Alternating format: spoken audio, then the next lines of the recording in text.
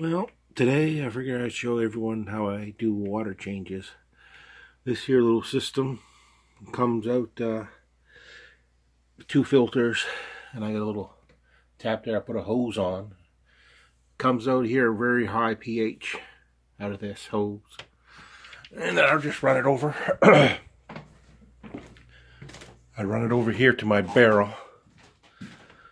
And if I want uh, to fill my barrel, with low pH air or I put this two together on this like that. If I want high pH water in my barrel, I leave it like that. That there's a Brita filter in there. It's just PVC pipe. Works well. So I can fill my barrel with low pH water for Sunday changing with my low pH tanks. And today's the middle of the week. So right now that barrel has high pH water in it. I filled it up two days ago. That lets the chlorine evaporate out of the water on its own. So I don't got to use no stupid chemicals. Although I do have chemicals if I need to do emergency water changes. Here's the gizmo I use to uh, take out my water now. I use a gravel vac. I put in a bulkhead and a tap, and that runs down. You got to keep this level below the tap, or it won't work. And it goes down the hole here in the floor. I'll show you downstairs. It comes in there through the floor, runs down here into the main drain of the basement.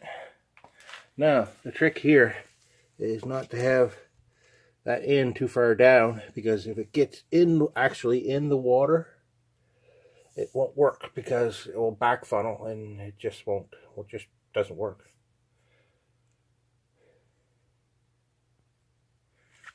Yeah, back upstairs. Now as you can see I got a normal vac hose. And I you know gravel vac everything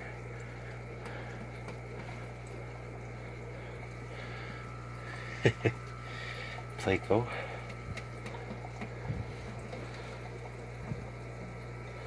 Oh, watch it, buddy.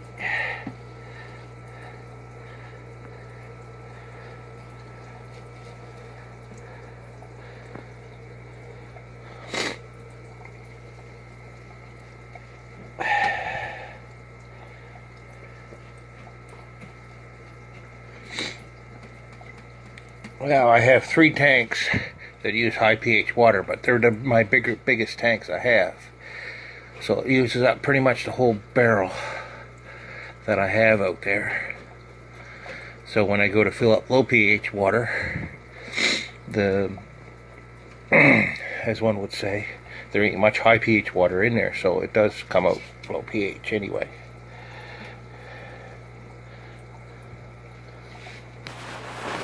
And it's as you can see the bucket's not really filling up.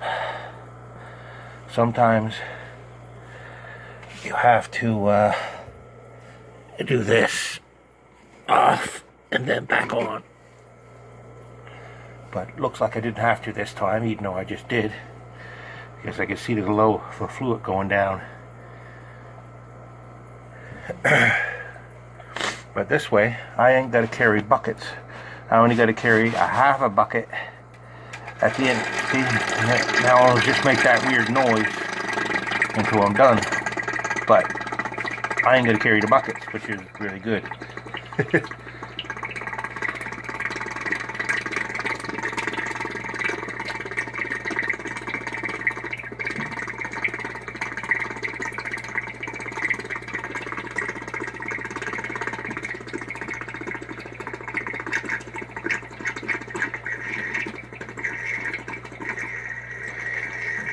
like I might have, it's going real slow. Looks like I might have plugged it up or something.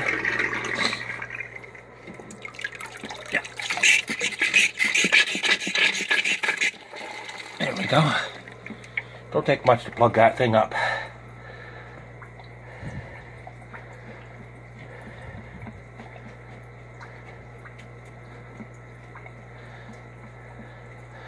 But that's the same with every gravel vac. Anyway, this is one tank that I drained down. Looks like it slowed down again. Yeah, it did.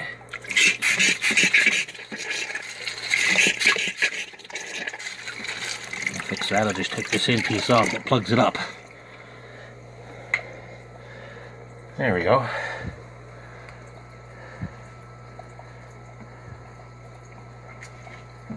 I was going to have to take it off anyway to clean it up because it won't get any suction again without that. Here we go. Get under that log today.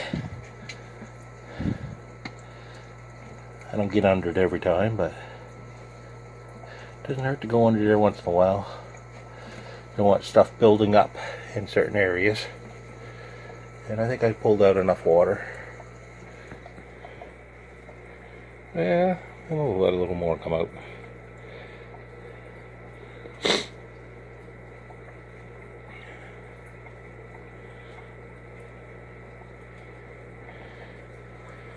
Alright, we'll stop that piece there and I'll drain down the other tanks and then turn the video back on. Well, I figure I'd talk about a couple other things. As you notice, I got lots of bubble makers. My entire fish room runs off that one pump up there and it just gets piped around, piped around the room. I finished vac gravel vacuuming here, so I'm just letting it drain on its own the rest of the way. These are the three tanks that use the high pH water. The new cichlid tank, my goldfish tank. I've only got two goldfishes in it. And my koi's over there. Hey, Snow. And, uh, yep. See it making that strange noise still. Oh, another thing is my lights are on that timer right there. They come on at 8 o'clock and they shut off at, at 5 o'clock. It's good for the plants that way. They get uh, regular hours just like real sunlight. We'll let that continue draining. I'll show you out here my barrel again. Now, there's the hose. And you look down here, I got a, a big pump down there. All I do is turn on that power bar, run that hose to my room, and fill my tanks back up. I'll show you that in a little bit. Uh, like I said, you just uh, turn the power bar on, turns the pump on. I already run the hose in. I got it off on this on the ball valve though right now. But sometimes the hose gets tangled up, so I don't. Uh, I run the hose in first.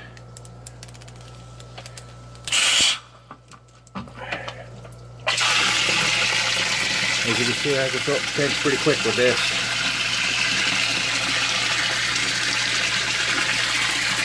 Better if I had two hands mess with the valve a little more. There we go.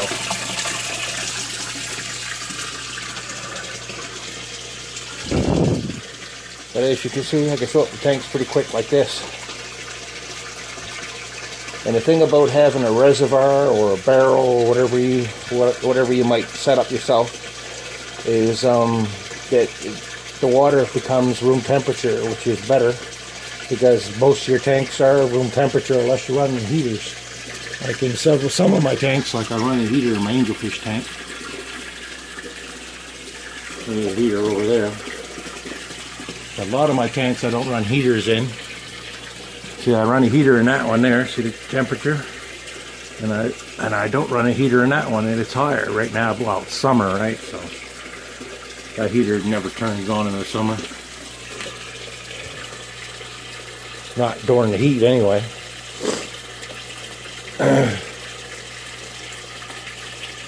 As you can see, it didn't take long to fill up this 38 long. Uh, 38 tank there, 38 gallons.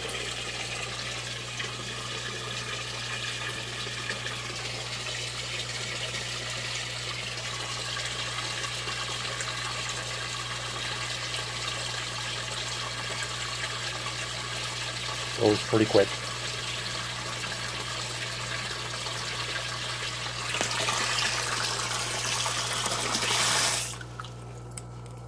Turn off the valve. Then you go to the next tank, etc., etc. I'll show you after they're filled up. After you've got your tanks filled up, what I do is I curl that above my head, above my body, which is, as long as it's above the height of your barrel reservoir, you can drain out the hose so there's no water in it. That way you don't get uh, mildew inside your hose and stuff, and then you just seal off the end with the ball valve and it stays good the hose stays pretty clean on its own as long as you don't leave water in it. Well there we go. Uh, I think this is a winning idea the bucket with the bulkhead and the hose stuff like that I used to carry five gallon buckets all the time now when I drain my water out when I'm done all I got to do is carry a half a bucket to the sink and I can also use that half a bucket of water to wring out one of my filters or sponge filters or whatever I need to clean. Right? Um, let's talk about my fishies a little bit. This here's my koi tank. There's snow, sunshine, dragon wagon. Yeah, dragon wagon's a cool fish. I like snow too. Anyway, um, I keep these here uh, filter bags. I fill them with moss plants so my koi's can't eat the plants. It doesn't look the prettiest, but it allows me to keep plants in with my koi. And I have enough of those in there that, that grows outside the bag, the koi's eat it, that now with this fan, uh, light here I got from Amazon, it's so bright, it's just a shop light at 5000K, that it grows those like mad, that I can grow the moss outside and the koi's just can't keep up with it, which is really cool. They eat it once in a while, but uh, you get sick of Java moss after a while. Anything else interesting I can think of in here? Oh yes, my crab habitat. Here's my crab inside there. That's underwater island, as would say. That's air. It, all air inside there. Crab can climb up inside here through there, as you can see, or you can climb it through this backside in there too. There we go. He can climb up through there as well. And then he comes out when he wants to come out. It's pretty cool, I think. Oh, I didn't put this back yet. There we go. These are my new cichlid tank. This first time for me with cichlids but uh, we'll see how it goes. I got um, coral uh, coral uh, rocks down there, crushed coral. That's what it is. Yeah, and uh, yeah, everything like I say, all bubble filters. I also have uh, media in my bubble filters, which is cool. I think. Got that Bio-Home Media, which is supposed to, after like six months, work with nitrites and stuff like that.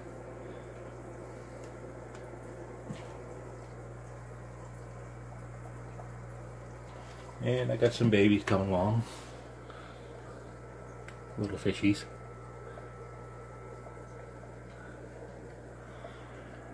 Here's some sword tailies in here. You can see them in there. The mother for these guys is right here. There's the mom. There's daddy. Beautiful swordtails. Hey Fred. Hmm. Wilma's on the other side somewhere, huh, Fred? Eh, she's hiding in the back. Lots of plants in there for them to mess with and hide with. Tiger barb tank.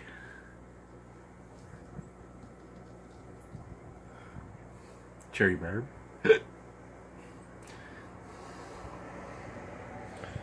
Pike goat. Gotta show my roachy. Here he comes. Yeah. That's about it. Hey, Snow? Huh? Yeah. Who's a good fishy? Well, that's it, folks.